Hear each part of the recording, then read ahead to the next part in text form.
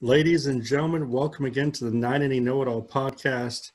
I'm your host, Josh, 9 Inning Know It All, and this is episode 101. We just, or I just finished episode 100 the other day, posted it.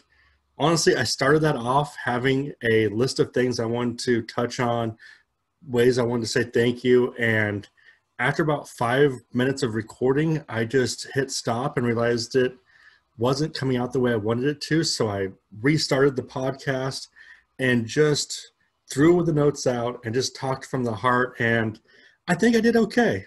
I think it turned out okay. I obviously I don't go back and listen to my own podcasts. Um, I do a, like a short amount, but I can't stand listening to myself. I know there's a lot of people out there like that. It just it's weird to listen to myself talk. So I don't. When I do go back and listen to podcasts, I'll jump over myself talking and then get to the uh, you know the guest whoever I have on, and I usually can figure out what the question is I asked within the first couple seconds of, of seeing hearing the answer. So um, I do that. I don't like listening to myself talk. I'm thankful that people out there don't mind listening to me. I know you guys don't come here to listen to me. Let's come here to listen to my guests for the most part, but you at least can tolerate listening to me. So I appreciate that uh, I'm excited. Today was a good day. I mean, here in the Northwest, the smoke is clearing. We're able to go outside and do stuff. My family's been able to go for walks a couple days in a row, which has been much needed. We've been cooped up in the house uh, for far too long with everything that's been going on, but also got contacted by uh, a college here in the Northwest that they're looking at doing some inter squad scrimmages in the coming weeks and they want me to come out and do what I do and take photos. And man, when I got that message, I was smiling ear to ear because I wasn't sure how much was going to happen this fall. Uh, from team standpoints, from game standpoints, from me being out there to actually get a chance to, to photograph stuff and, and be a part of it. So just being able to get out there and have the opportunity to take photographs this fall means a ton. So if there are any other colleges, I know there's a few coaches who listen to me. If there's any travel teams that are playing this fall and you want me to come out and photograph your games or whatever, contact me. I try and keep my prices as low as possible. Obviously I got to pay for gas, a little bit of my time, but you know, just, just let me know. I'll gladly work with you because I just want to get out and photograph some games because I actually had to cancel my trip to Arizona. I was supposed to be leaving in about a week and a half. I was supposed to be driving down to Arizona for the Arizona Fall Classic, the junior one, and then the week later the senior one. And obviously, I just can't do it this year. You know, I had big plans. I was going to drive down, then drive back to Anaheim, go to Disneyland with my family, then go to Phoenix for the last couple days, and drive home. And you know, with everything going on, just just couldn't do that. But guys, I, I'm still I'm so excited to get any kind of baseball in this fall because it's just it's just been a slow summer when it comes to baseball. And speaking of baseball in the fall, right now I'm going to get a chance to talk to someone else that I've never met before, but they're a part of the Northwest baseball community, which I love baseball Northwest. It, it means a lot to me. Today, I actually have the head coach for Cascade Christian High School up in Puyallup, Brad Thorsteinson. Brad, how are you doing? I'm doing great. Thanks for having me. Absolutely. So, obviously, Brad, this has been, you know, it's been a chaotic year. It's been a, just out there, unprecedented in a lot of ways. For you, you know, what things have you been doing to kind of get your baseball fix and keep you going throughout this last, what, six plus months? Oh, well, we uh, we tried to shove uh, a lot of the season into a little bit of time. Uh, once we were able to kind of get outside in um, in the late June, July, and August, uh, with our summer schedule. I coached the 18U Saints Elite out of Diamond Sports in Puyallup, and so um, we got to play probably 20, 22 games when it was all said and done in, a pretty short window. So, um, and then right away there was really no break because we went right into recruiting for our team next year and right into recruiting for all our guys. We've got uh, 13 guys are going to be 2021s this year. So we went right into that process, um, which we're knee deep in right now. Yeah, you know, that's one of those things where obviously we know a lot of guys maybe didn't get a chance to play this year. For the guys that for your team that did get a chance to play this year, was there kind of a almost a sense of relief as, as well as excitement for the chance to be able, be able to get back on the field? Yeah, I think so. I mean, gosh, we sat we the, the hardest part with especially with us high school, we thought we were okay. We're going to be shut down for about a month, a little over a month. Everybody thought we were coming back. Then they were talking about a shortened season, still have opportunity to to do playoffs, and so there was a lot of hope. And then uh, as time went on, and then we lost that hope, and then it was like, well, we're going to play June 1st. So it looks like we'll hit phase three, or and that was the you know everyone was thinking that, and then that didn't happen. So it was just this long, prolonged time of you know just disappointment after disappointment.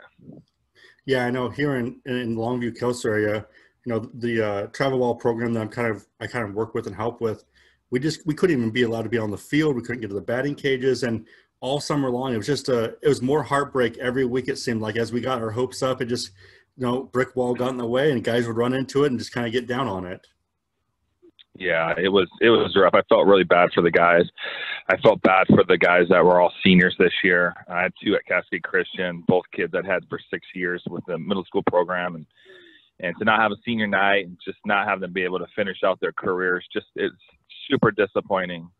Um, and I know lots of kids around the area, uh, across the entire country, had the same disappointment. Yeah, and that was one of the things. You know, I've talked to a number of guys who are getting the chance to play college baseball, but they still you can still hear in their voices that missing out on senior night was important to them because those are the guys they grew up playing with. Those that was their hometown. Obviously, you grow up thinking about your high school and that type of stuff, and to not have that, you know, that that moment, that memory, it really is. It's it's heartbreaking to see those guys miss that chance.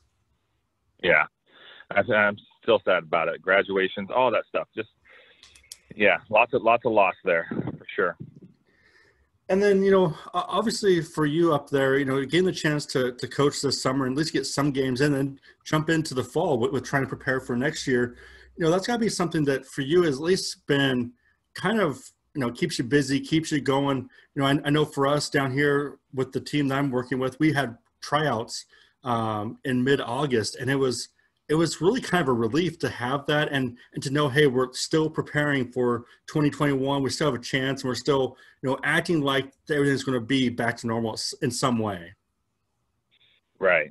Yeah. No no question. We were actually still playing when we were starting our tryout process so just everything just got all bundled up together but you know you you really have to in order to um, really have any sanity at all you have to kind of just forget everything that happened and plan on this being a great opportunity.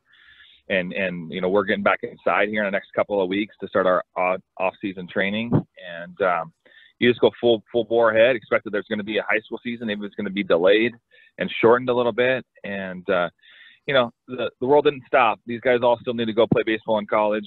And they need to put you know film on um, on their field level and all the different things. And so you know, you just you just kind of put the blinders on and go, and that's what we're doing right now. Yeah, that's one of the things. You know, we talk about all the different challenges, kids missing, you know, spring and summer and different types like that. But it really has become uh, a very difficult and unique challenge for the 2021 class because you got you know you got the dead period for NCAA. You have you know a lack of games. You know the inability of coaches to go watch games. So video has become extremely important. And you know, is that something you guys have really had a chance to maybe you were doing in the past, maybe enhance it even more nowadays? You know, it absolutely. Film is e- enormous um, for these guys that are recruiting that can't get to places or there's no games going on for them to see. Um, and, you know, we the one thing I noticed this year is that everything's sped up. Um, colleges obviously, you know, their season ended and early, and then they almost turned their focus to next year way way earlier than um, than what it was, you know, what it normally is. And so we we started having college coaches come around. We did some inter squad stuff, and so we our guys started getting offers a lot sooner than probably in years past. Um, right now, we're at six of our guys right now uh, verbally committed um, to go play next year, mostly in the NWAC, and um, you know, most of those programs are filling up their rosters really, really quickly. There's not a lot of opportunity. There's not a lot of money just with that extra rollover. The the trickle down effect is enormous. Um, you know, we have now two classes into one. That's something that doesn't just get worked out over the course of the next year. It's going to take several years, and so uh, I'm interested to see how this affects things moving forward. But you know, we we jumped on it really early, knowing that we were going to be up against the wall, getting some of these guys opportunities. So we really we really hit the recruiting part hard so that our guys could get some opportunity. And um, man, I I think I had uh, four guys in the last five days commit, and so it's just been it's just been one success story after the next. It's been really fun to watch, and so proud of all my guys for this opportunity they're getting. And, and you mentioned, you know, a number of your guys are going to the NWAC, which is a a conference that I not only love, but I truly believe in with the way they develop talent. But you're right; it's been it's been crazy because I know obviously down here at Lower Columbia that I I'm close to. You know, I know some of the sophomores went on to play at a four-year school coming this year, but there still a number of sophomores who stayed behind. The freshmen, obviously, they're now freshmen again. You have the incoming class. It's going to be packed and full, and you know, it's it's interesting to see how this fall is going to play out. Obviously, teams can't go play as much, can't go play as many places. But you know, for the guys who get in there, it's going to be a it's going to be a, a true competition, and I like that aspect of it. But for those high schoolers, I mean, are you trying to get them mentally prepared, knowing that hey, you guys have got to go in there, and it's it's going to be a dogfight for a position? You know, one one thing is our our, our message to our guys, and and the, the same message from Diamond Sports has been for the last year when we really started getting these guys mentally prepared for what they were going to be up against, whether it's you know, getting stronger in the weight room and really and really just taking this, you know, to the next level for them is that, you know, there's there's going to be guys that I thought a year ago we're going to play college baseball that now are not going to get the opportunity just because of the logjam. You know, those four-year schools, you know, they they had guys hanging back too, so that you know they were trying to keep guys in at the NWAC you know, because they they were having log jams. So it was it's a push and pull from from every level. And you know, I was at a, I was over at a school with a couple of our guys uh, a week and a half ago, touring, and um, he told me flat out he's got 40 guys, 40 freshmen on paper this year. That's two classes rolled into one, and so that is going to be interesting to watch how that sorts itself out. Um, because I just I just see some there's going to be some really hard decisions that are going to come down the road for these guys, unfortunately.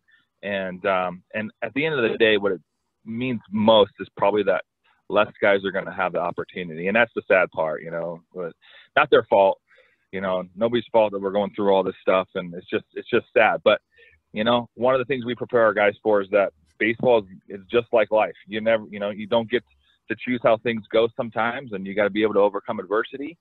And this is just another step in that process for for them to learn and and, and grow.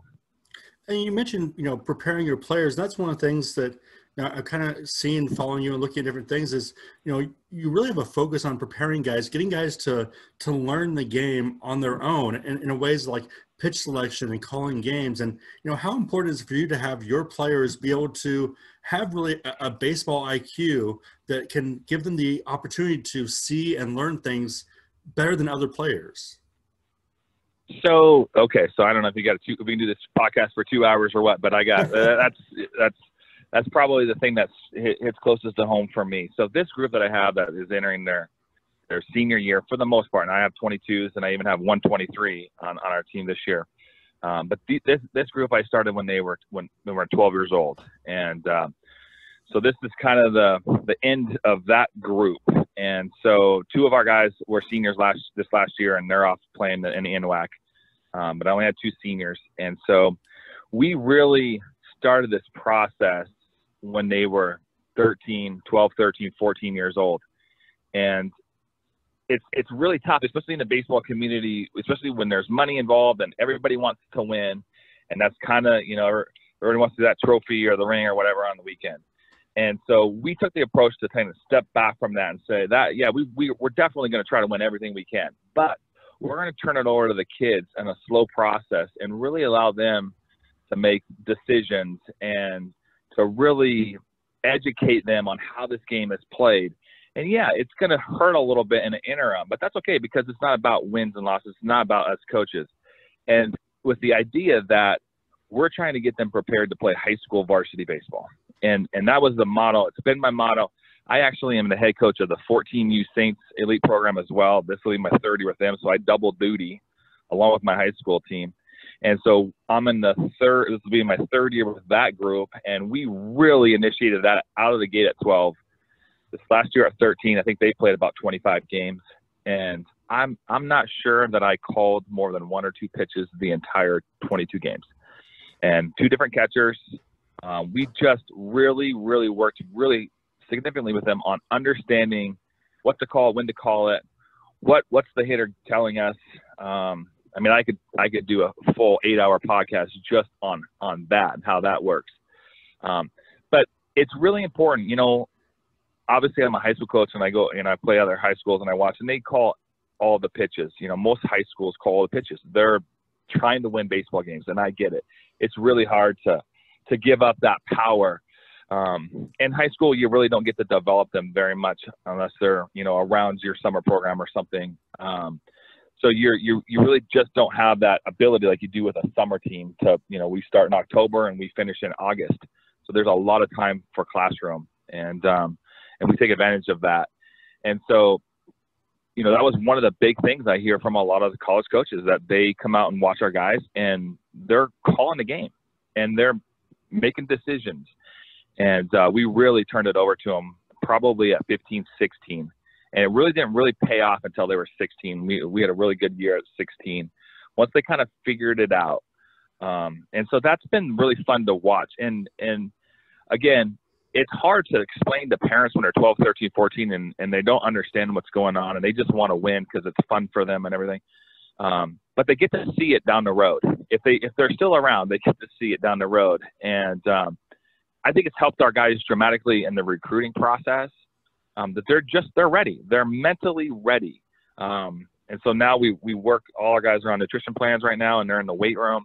We're trying to get bigger and stronger and then we'll get back to the the baseball part here in the next month and, and, and get back ready for the season. But it's uh it is a really really long process, and I've talked to lots of coaches that did a couple different podcasts about this exact topic, and um, it, I think the fact that I've been coaching for we're getting close to 20 years now is it, I probably couldn't have done this my first five six seven years. I wanted I wanted to win, and it was my way or no way, and it really took me setting aside the ego. It's not about me. It's really about these kids, and and not just saying it, but showing and believing it, where we could take where we take that turn and get the guys to where they're at now.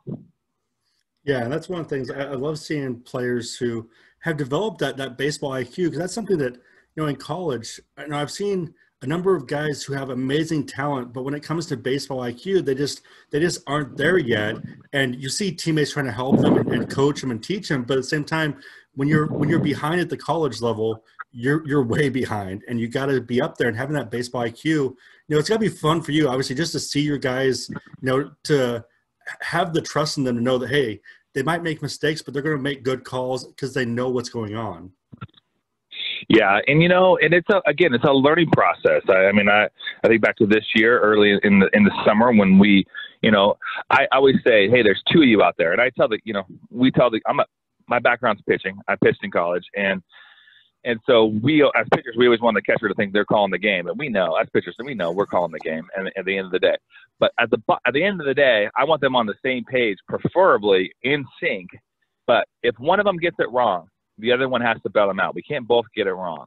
And so when they do get it wrong, then we get to have a conversation, you know, and and and and explain what we're doing. And and sometimes if it's been you know called wrong a couple of times, they get a little bit of earful from coach. But it's all part of the process and learning. And um, you know, we we get our guys involved in charting and doing all kinds of stuff, even at the you know 18U level, even even younger than that. It's just to really get them to start focusing on all the stuff that is presented that you know most kids don't see because they're not looking for it and it dramatically helps them with you know baseball is so mental we spend so much time we we actually have a mental psychologist at diamond sports and we've spent so many hours in the classroom with him and this has been phenomenal to watch our guys grow mentally not just physically yeah, I love that. And then, you, you mentioned your background, you know, is pitching. You actually got a chance to play in the NWAC what was it like for you to be a part of that conference? Because that has been a conference, I mean, that I, all my life I've been around it and, and seen it. And it's been really awesome to see the talent and just the the programs that are in here. What's it like for you to to have had that history and be able to see it even where it's at today? You know, I think it's a phenomenal conference. I really do. We we have a, a little tradition inside of our program where we go to Hillsboro for Memorial Day tournament every year. Or this year was going to be in Portland, but we stop off on Friday and catch the 12:30 game in Lower Columbia every year, and it's a big Saints deal. And we, you know, there's oftentimes we know a coach or a player or whatever, and we get them to come talk to our guys, and it's just let them. So they've been seeing that for years now because I, you know, that you think from the outside looking in, you think junior college, oh, it might not be as good, but what they don't understand is that it's really, really good baseball, high level talent. Guys get drafted out of that league every single year, and there's a handful of D1 guys every year. So it's I, I've really I've really loved uh, I love being part of it, and I love I love watching. I love um, I know majority of the coaches, uh, some of them I played with or against. Um, so it's been really fun just watching the evolution of that. And, you know, that NWAC tournament every year on Memorial Day is just such a historic, prestigious thing. I was fortunate to get to go there in 97 with the College Rangers. And it was just really a great experience, a big deal. Um, so yeah, I, I really love it. And I, and, and frankly, you know, going through this whole process with our guys for recruiting, you know, the D1 is really hard this year just because of the log jam. So a lot of our D1 guys are going JUCO, and so that's only going to enhance this league for the next two years because there's going to be way more talent in the league than it has been in the past, which has still been really good. Yeah, that's one of the things, and I've had to tell players that you know we're like, oh, I, I want to go play for a big college, and I'm like, well, then go to the JUCO route because like Lower Columbia and Everett and these schools, they send guys to the four-year schools. I mean, entire starting lineups go to four-year schools because that's the talent level here in the NWAC. And I, I love when guys, even if they ha- are kind of forced that direction, choose that because after two years they look back and go, oh man, that that was huge. I, I love the fact I got to play every day. I love the fact I got to compete and be out there. And it's just it's changing for them, and and I love that. Yeah, it is. It is a direct link to get to a a D1 or D2 school where you can't might do that right out of high school, and just the the level of attention they can give you, the the hands-on approach that you can't maybe get at the NCAA level, it's just it's phenomenal. And and some of these guys, you know, they they work hard, but they don't really know what it's like to work hard till they get there. And and some of them really blossom and they get to go. And and I always tell everyone, you don't have to be there for two years. If you're ready, your college coach is going to tell you you can go after one year. We see it every year, and so you're not stuck for any for any means. And you know, and then you talk about costs and all the different things that you get to, to do as well. It's just it's a great opportunity, and I just think I think the world of it. The baseball is really good. Yeah, absolutely. And then, you know, for you, you, you mentioned you've been coaching for for a number of years. What initially got you into coaching? Because you know, although there are a lot of players who say, "Yeah, I want to coach someday," you know, it, there's usually different circumstances that get you into that. So, what was your circumstances to get you coaching? You know, I just always felt like I was a kind of a team leader guy. I wasn't like the rah rah guy. I was more of a lead by example type guy growing up. I grew up in Burien, went to Highland High School, um, and, and and did a couple clinics when I was in college. I just thought it's just really fun to to work with young people, and uh, you know the the the the biggest part for me, I got my first gig when I was 27. I coached a uh, Pierce County Babe Ruth uh, team uh, out of Bethel High School and funny, funny story, I coached that for three years, took a, team for three years through the Babe Ruth program. And uh, two of the guys that played there are actually assistant coaches for me now. I'm an 18U team, have been with me for one of them six years and the other one seven this year. So kind of funny to watch them grow up now. Now they're coaches, but um, you know, I I didn't realize the the level of commitment, the level of understanding, the ability to be able to explain something to somebody, having to be versatile because not everybody understands the same message. Um, when I the first year I started coaching, I, I really found out really fast. I didn't know a lot about baseball. I knew how to play the game, and I've been doing it a really long time. But you know, there's so many aspects that I just just I didn't understand. I didn't know because we it wasn't a big deal, and so I had to really study and and and to this day I I I find everything and anything I can I can get my hands on to continue to learn and you know things are obviously evolving constantly and it's just been really really fun to um, to do that and and and to to teach and to grow my my favorite thing ever is is not just the baseball portions everything else the relationships um, you know the kids that call me for advice you know, the that kind of stuff. Where sometimes you you kind of become a parental figure to them. Um, you know, we really let our guys know that we're there for them and we'll help them with. We we do grade checks and we do all this stuff that to help them become great individuals. Um, that is going to help them in their life. So. Um, I, it's just it is such a it's such a blessing to be able to just have a little bit of an imprint on a, on a person's life and hopefully a positive imprint. And so I've just, I've eaten it up. I just love it. And then for you, I mean, obviously as a coach, you, you've grown, you've developed. Have there been other coaches you've kind of looked at as mentors, guys who have, you know, kind of helped you along the way, you know, shown you different things or just kind of even just kind of let you see what they do?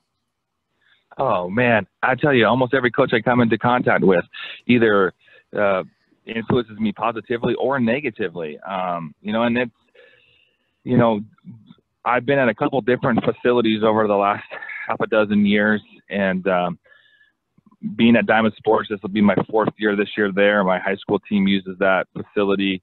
Getting to know those guys, you know, Stephen Fincher runs the Diamond Sports, one of my best friends. Just sitting down and just just story after story and listening and seeing how guys do stuff. I just I can't get enough of that stuff. Um, whether they're you know coaching 13U and you're you know you're an 18U coach, it doesn't matter. It's all there's always something you can get from some other coach, or, or advice you can give to them. And so, um, and then even just coaching in games and summer games with against people you don't even know, just watching how they handle things and or, or good good and bad.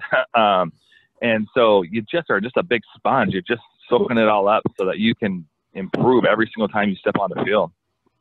Yeah, it's one of the things that I love being around the NWAC because you know I'll walk into a dugout and and the coaches will start talking about something they saw or something they're doing and and it just the message they have and it's so much fun for me just to learn and to listen and obviously the NWAC coaches up here in the Northwest have so much experience so much knowledge and it's just for me I'm almost I'm almost like you know at a loss for what all they're talking about because of how much knowledge they have, and I just love listening to it. I, I, can sit there and listen to a guy talk about different scenarios in a game for hours just because it's fun and something that I could I would love to be a part of.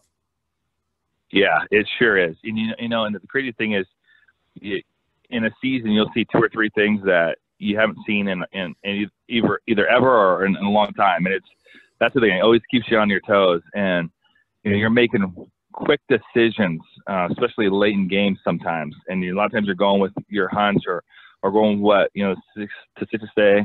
Um, you know, we, we went to Arena World Series last summer and uh, we're fortunate enough to get to the championship game where we lost, but we won a, a bracket play game on a walk-off squeeze. And, you know, I wasn't sure I had the kahunas to call it, but I, I did. And our guy got it down our guy scored and we walked it off and won it. And it was just, you know, looking back, you, you go, wow, what, what were you thinking in that moment? And you just like, you don't even think, you just react. And uh, that's what makes it really fun.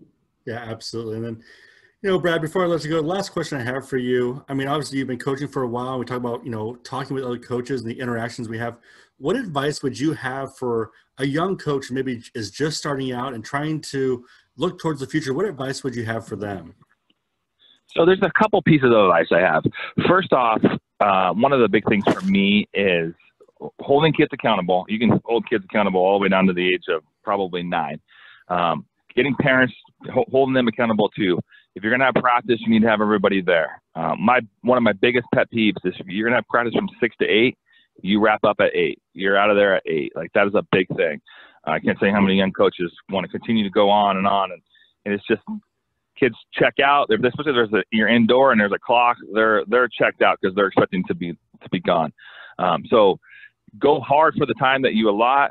And you know the the one the biggest thing I've learned is and it relates to throwing. Um, we we are really uh, strategic in how we do it, but we do a throwing program, and um, this 13U team last year, which is now going to be 14, I they kind of fell in my lap at 11 um, we had to let coach go in the middle of the year, and um, we put that throwing program in right in the middle of the season. It was in April, and in four weeks, how much further and harder they could throw baseballs because they just had never done it. So we do a lot of long toss. We in the off season we do a we do a lot of flat ground work, um, and we we don't just say we're doing a flat ground, we teach them how to do it. We do it properly, um, and then we do a lot of bullpen work where we chart our guys, even the young guys, chart the pitches, and we really start explaining how how this works and what's a good bullpen look like versus not, and how, where we want to locate pitches and and go through all of that. And you know, I've I've it's not anything I created. I've you know borrowed and stolen and and uh, you know follow all the guys that are really into that long, you know long toss stuff and bands and um, you know now we're into the whole driveline stuff. Um, it is really good stuff. The information that is available for a young coach, which I did not have back back you know 20 years ago, it didn't exist. I had to check out books from the library. Um, I learned that I didn't know how to teach how to throw a curveball. I've been throwing them my whole life. That's just the craziest, just to show you how to literally learn how to teach it. Um, so just absorb as much as you possibly can. Um, set the ego aside um, and talk to people that have been doing it for a while because they, everybody will help. That is the one thing about the baseball community, the coaches community. Everybody is willing to help. There's no, I have not come across anybody that's like, hey, I'm not going to tell you my secrets. Everybody wants to tell everybody because at the end of the day, it's for the kids. It's for the kids, not for us. And so I've just really enjoyed getting to, to, to talk to people and know people and, and learn from everybody that I, I come into contact with. Yeah, I know. Um, once I saw that Mariano Rivera would share his his grip and his pitch with all the other pitchers at the All Star games, that's when you know right. that the baseball community is just awesome. But but Brad, I appreciate you being on here. I appreciate you taking the time, and man, I wish you guys the best of luck going forward, and hopefully I'll get a chance to actually see you guys play come springtime. Yeah, absolutely, man. Love to have you out, out to a couple games. Absolutely. Well, Brad, have a good night and thank you again. Thanks so much. So, ladies and gentlemen, once again, that was Brad Thorsteinson. He's the head coach for Cascade Christian High School. And man, I, I love when the focus of coaches is to not just help the players on the field, but to help them in their whole life and to be intentional about that, intentional about their progress, uh, as a pitcher, intentional as a hitter, intentional as a student. And just, I love that focus. I love that intensity. And that's something that really, I, I think, separates an average coach from a great coach because you know, yeah, you can teach baseball, but can you teach them about life as well? And that's a big thing. That's why I love the NWAC, you know, and, and the coaches I come across in that because yes, they want to win ball games, but they care just as much about the guys getting their degrees becoming good fathers, becoming, you know, all these different things in their life. And that's what I love about about coaches and coaches who are especially who are effective at that. But guys, with that, another great podcast. I'm going to call it a night. I'm going to go eat dinner because I am hungry. So, guys, thank you for listening. And until next time, hey, watch some baseball. The playoffs are coming. They're only like a week away or so. So, have some fun, watch some baseball. And, guys, I will talk to you later.